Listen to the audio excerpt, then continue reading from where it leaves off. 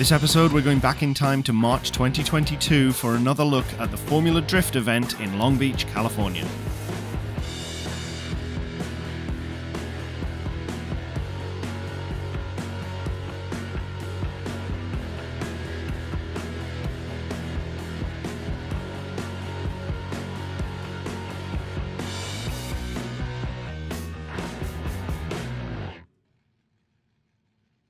Last road trip, we looked at the Formula D event from March 2022 when we went out to LA, but there was a little piece that we didn't cover.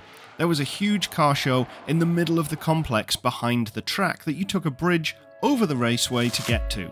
So sit back, relax as we take a tour around the show and shine from Formula D Long Beach 2022.